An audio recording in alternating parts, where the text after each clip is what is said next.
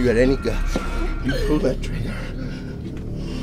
And you'd deliver this center.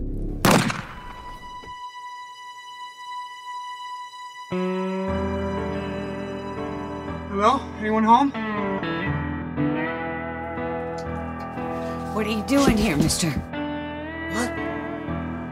I gotta take you with me.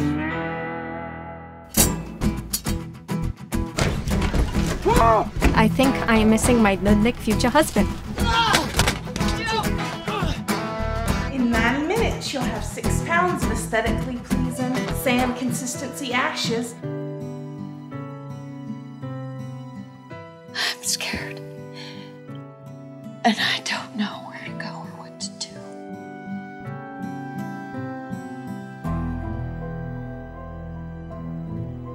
Let's get back on the road to nowhere.